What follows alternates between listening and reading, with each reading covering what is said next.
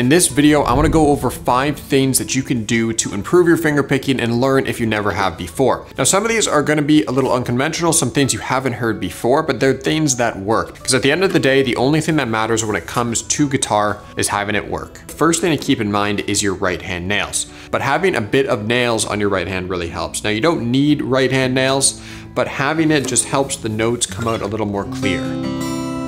So if you want to finger pick on guitar, try to grow out just a tiny bit of nail on your right hand. It does not need to be a lot, just having a tiny bit helps. Now, this does not apply to your left hand. Your left hand, you want to make sure you just, you know, cut your nails normally, but with your right hand, you can keep them a tiny bit longer. It's going to help you finger picking. Now, the next step to finger picking on guitar is having the right, left, and right hand position, and we've gone over this a bunch of times. Your left hand, you always want to make sure it's as relaxed as possible, it's behind the neck, and with your right hand, you always want to make sure you're finger picking more more from your fingers and not your whole wrist. See, a lot of times people will finger pick with their whole wrist on guitar, and that's really a bad technique. You wanna make sure you're really just playing from your fingers. So the first step to finger picking on guitar is having a bit of right hand nails, and the second thing is making sure you're picking from your fingers and not from your wrist. Really, you're not doing anything with your right hand, and your fingers do all of the work. Now this is to contradict a lot of what I just said, but the next step to fingerpicking on guitar is building your skill, specifically just your overall guitar skill, and you don't even need to fingerpick for this at all. If someone comes to me and they want to learn to fingerpick on guitar, the first thing to do is just learn your basic guitar notes, learn some left and right hand technique, and this can even be just plain simple guitar songs with a pick. You don't need to do it with your fingers.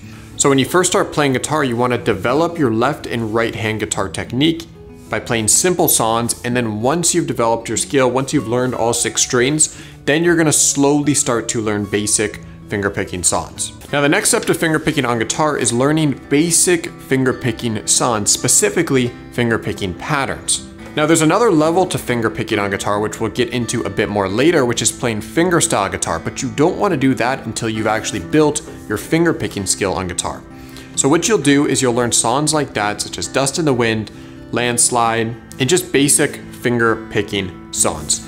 And I like this because you're not thinking about all the advanced aspects of finger picking on guitar, you're really just thinking about hitting the notes, they can all kind of be the same level, and just playing the left hand chords. When you play fingerstyle guitar, every specific note you hit on each string needs to kind of convey a message because you have the melody you're trying to make really clear. So step five of finger picking on guitar is learning fingerstyle guitar. So once you've built your skill, once you've learned finger picking patterns, the next step is playing fingerstyle guitar where you're actually adding in melody. So let me show you an example between just normal finger picking on guitar and fingerstyle guitar. So let's start out with finger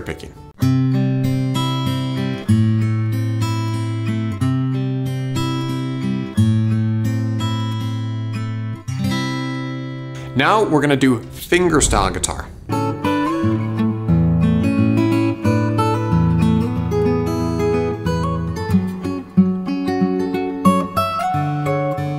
So when you're playing fingerstyle guitar, you're not just moving your right hand fingers and kind of playing everything the same, but you're actually adding in the melody to the music and you can even add in things like percussion and all these advanced techniques. So to do this, it requires a lot more effort with your right hand and a lot more thinking. When you're playing fingerstyle guitar, specifically fingerstyle arrangements, you really need to think about that melody. And to do that, you need to have really good right hand finger independence so you can hit certain strings harder than others. So that's the fifth step to finger picking on guitar, the most advanced step, which is when you actually play fingerstyle guitar.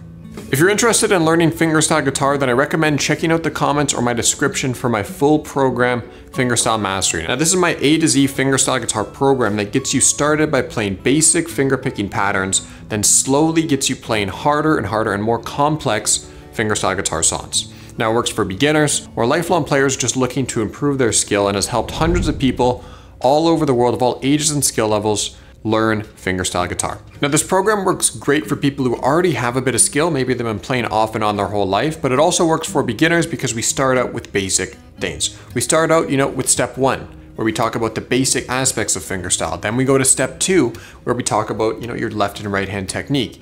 Then we have step three, then we have step four, where we learn basic finger picking patterns. Then slowly and slowly, we get into more and more complex fingerstyle guitar songs. If that sounds interesting, then check out the comments or the description for my program Fingerstyle Mastery or go to acoustia.com. Either way, I hope you enjoyed this video and I hope it helps you start learning fingerstyle guitar.